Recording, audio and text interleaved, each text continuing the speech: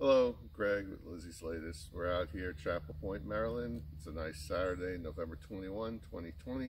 We're taking pictures earlier out in that area beyond those bushes. There's headstones out there. Yes, it's a graveyard.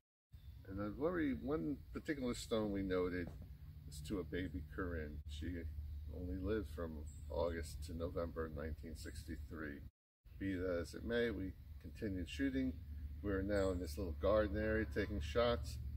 Realized I had left some gear back in that direction, so I went I, I went to go get it and put it on a bench that was empty over here. To, you know, yeah, you know. And anyway, when I came back to put it on the bench, this is what I saw.